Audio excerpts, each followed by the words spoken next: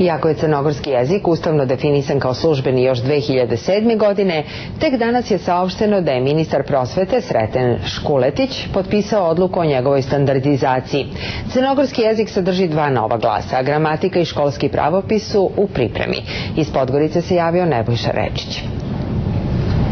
Donošenje pravopisa crnogorskog jezika sa pravopisnim rječnikom rezultat je činjenice da dosadašnji pravopisi koji su bili službeni u Crnoj Gori nisu uvažavali opšte crnogorske jezičke osobenosti kao što ih nije uvažavala ni nekadašnja srpsko-hrvatska standardno jezička forma. Iskristalisali su se dvije e, opcije koje su oni preferirali.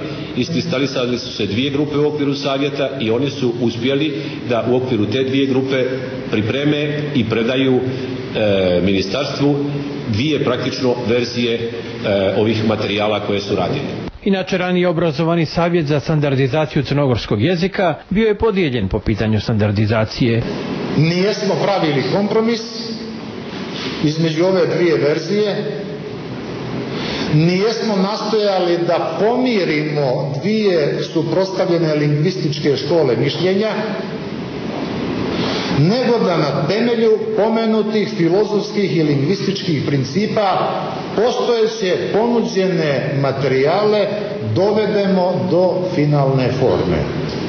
I ta finalna forma jeste ovaj dokument pravopis koji je juče potpisao ministar prosvjete Sreten Škuletić uradila je tročlana ekspertska grupa koju su činili profesori Milenko Perović, Ljudmila Vasiljeva i Josip Silić. Upotrebljivih lingvista izvan postojećeg savjeta za standardizaciju u Crnoj Gori naprosto nije bilo.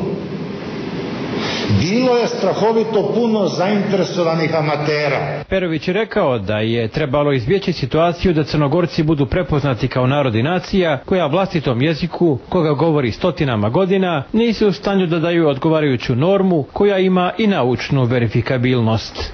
Ovaj koncept norme normiranja crnogorskog jezika izveden je na principima neostrukturalističke filozofije.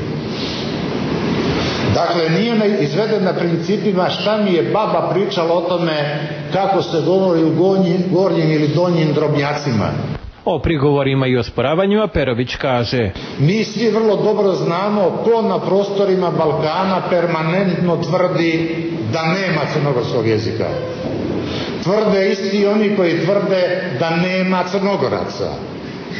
Tvrde isti oni koji tvrde da nema crnogorske države.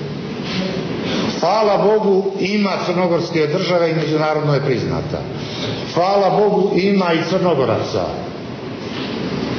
Hvala Bogu ima i crnogorskog jezika. Crnogorski jezik sadrži dva nova glasa, š i ž, kao i niz dubleta, a zasnivaće se na principu piši kao što zboriš, a čitaj kako je napisano. Gramatike i školski pravopis još nisu urađeni. Iz Podgorice za glas Amerike Nebojša Ređić.